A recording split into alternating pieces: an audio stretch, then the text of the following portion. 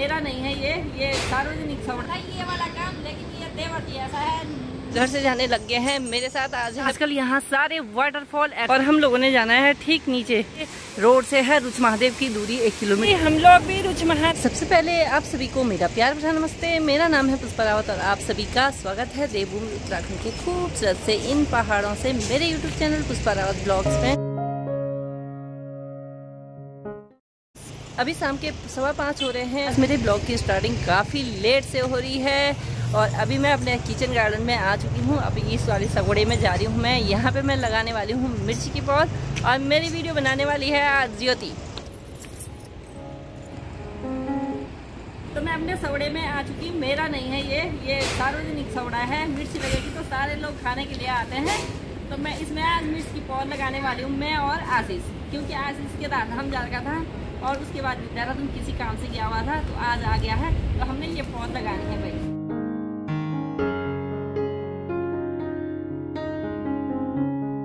आज क्या हुआ कि किसी ने हरेला कार्यक्रम मनाया तो मेरी, मेरे सपड़े में मिर्च की पौध लगा दी थी। मिर्च की पौध उखाड़ी और वहाँ पे फूल का पौध लगा दिया। मैं बाद में दिखाती हूँ वो कहा क्या था फूल का पौध लगा रखा था। तो यहाँ पे मैंने मिर्ची पौध लगा रखे हैं और यहाँ पे वृक्षारोपण कर रखा है किसी ने। और ये फूल का पौध यहाँ पे रोप रखा है।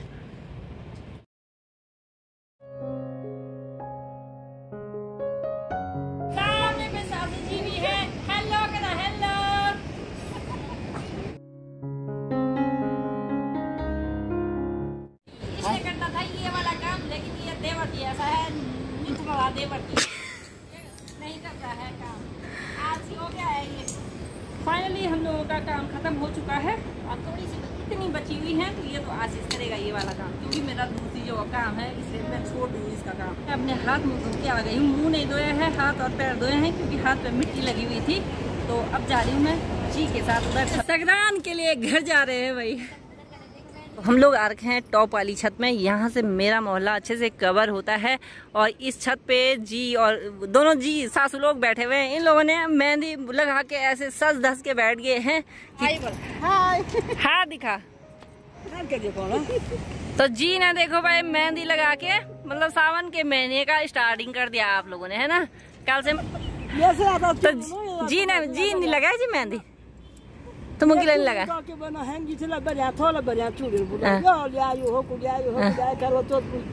हरी चूड़ी भी छे चल दोस्तों गुड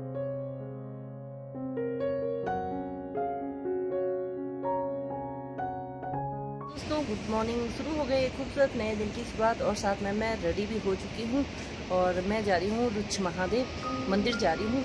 तो चलिए जी। तो हम लोग घर से जाने लग गए हैं। मेरे साथ आज है प्रियांशु और प्रियांशु की मम्मी पापा थोड़ा आगे चले गए हैं, लेकिन हम पीछे पीछे जा रहे हैं दोनों के दोनों। हाय हेलो कर दे और आजकल बारिश लगातार होए जा रही है तो यहाँ देखो चट्टानों पे, जहाँ देखो वहाँ पानी ही नज़र आएगा। ये सारा पानी ही आ रहा है उधर तक।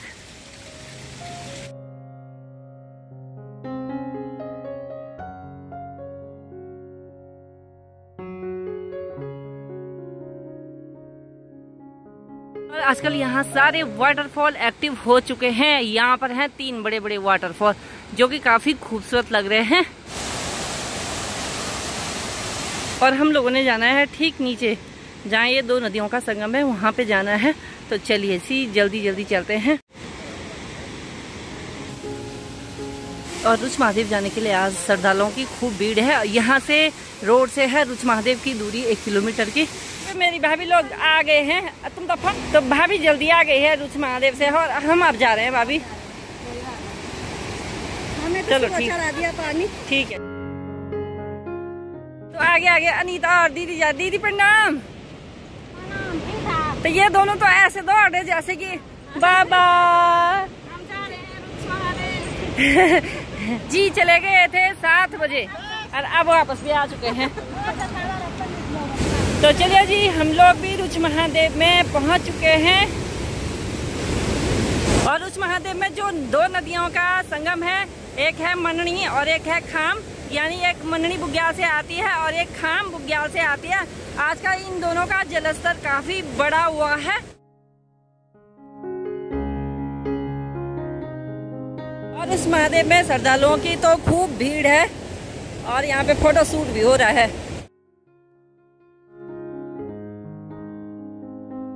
और माना जाता है कि रुच महादेव में दर्शन करने से ही आदि बद्री के दर्शन हो जाते हैं, आदि गया काशी के दर्शन हो जाते हैं।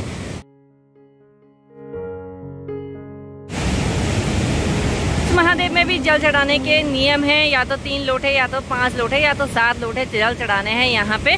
तो चलिए जी, मैं भी एक बार पूजा अर्चन कर लेती हूँ। सबसे पहले तो नदी में जाती हूँ, हाथ मुँह धो लेती हूँ और पूजा अर्चन कर लेते हैं। उसके बाद मिलते हैं आपको। तो चलिए जी, हमने मंदिर में पूजा अर्चन तो कर ली है और अनिता लोग तो वहीं पे पूजा कर रहे हैं। मैं और दीदी जा रहे हैं घर। घर यानी पहले ऊपर वाले मंदिर में जाएँगे, उसके बाद जाएँगे। घर पहले नहीं जाएँगे, है ना जी?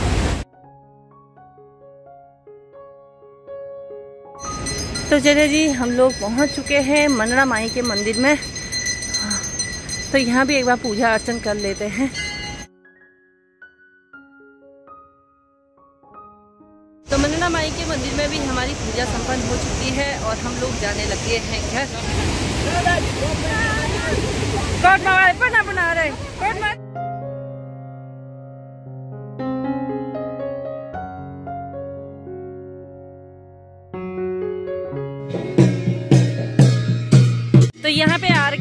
हिमाचल से देवी माँ की डोली और देवी माँ की डोली जा रही है रुच महादेव में नहाने के लिए।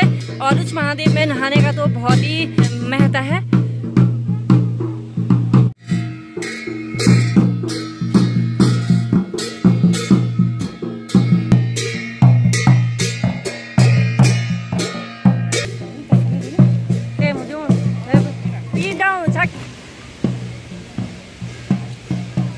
चलिए जी, मैं रुच महादेव से घर पहुँच चुकी हूँ और अब अपने घर में मैंने अभी बहुत सारा काम करना है। शायद दीदी लो, दीदी और जेठ जी भी आ रखे हैं कोटमा में तो उनसे भी मिल लेती हूँ एक बार।